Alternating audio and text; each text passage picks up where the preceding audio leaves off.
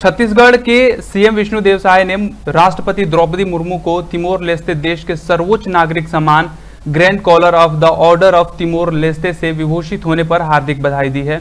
उन्होंने अपने शुभकामनाएँ संदेश में कहा है कि यह 140 करोड़ भारतवासियों को गौरवान्वित करने वाला क्षण है। यह सम्मान दोनों देशों के बीच मज़बूत संबंधों को दर्शाता है। तीन करोड़ छत्तीसगढ़ वासियों की तरफ़ से आपको हार्दिक बधाई एवं शुभकामनाएँ। कोटि कोटि अभिनंदन।